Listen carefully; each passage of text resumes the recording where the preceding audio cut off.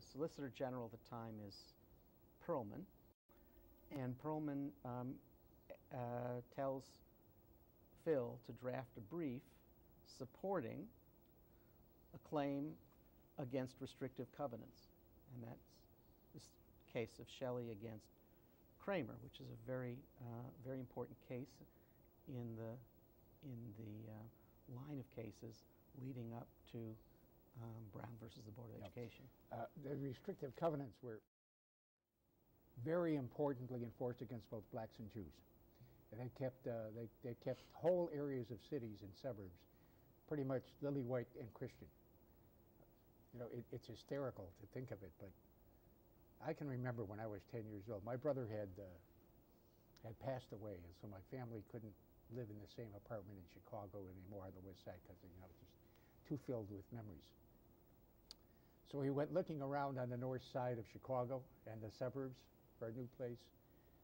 And we were on this street. I don't remember what street. There was one house, a whole block. Every, nothing but a prairie. And a whole block.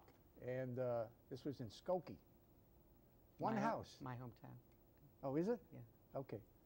And uh, my parents look at it and they say, you know, well, why don't we look at that? It's for sale. No, you, you can't look at that. They don't allow Jews here. Skokie. that actually happened. Wow. All right. Yeah, well, just the irony is that when Yeah. my parents bought their house in Skokie, it had a restrictive covenant in it. Did it.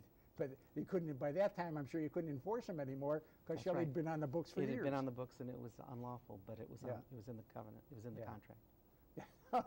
that act, So, a- yeah. an- anyhow, okay. So Perlman did that, and Phil wrote the brief, and they won the case. They write a brief, and it's a showing the flag, as Phil puts it, a showing the flag kind of a brief. Yeah. 150 pages, laying out the position of the Truman administration to do something about the problem of restricted housing. And um, um, what's interesting about that, I think there's a there's a there's an ironic there's an ironic aspect to that anti-discrimination position of the Truman administration. Uh, Phil tells me that um, when they drafted the brief, they put the name on it of Tom Clark, Yeah. who was the Attorney General at Yeah. the time, um, which is unusual because Attorney Generals don't usually sign Right. This was a way of briefs. signifying to right. the court. This was a way of saying this is it was a major, major um, interest of the government of the United Yeah. States. Yeah. They put the name of, of Philip Perlman, who was the Solicitor General, of Philip Elman, who was the Assistant Attorney General, and of the other attorneys who had worked on the brief, Hilbert, Hilbert Zarky, Oscar Davis, Stanley Silverberg, who were all special assistants to the Attorney General.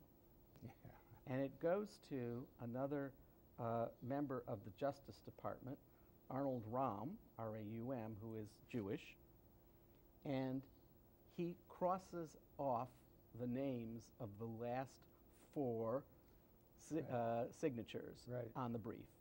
And he says to Phil, it's bad enough that I have to have uh, Perlman's name on the brief, Right, I- but I have to put Perlman's name there.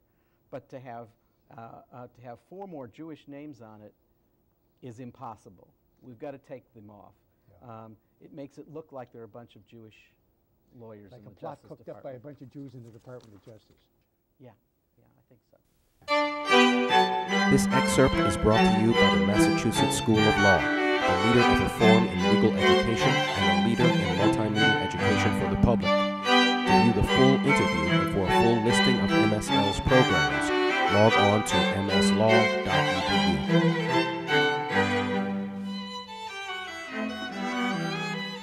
Welcome.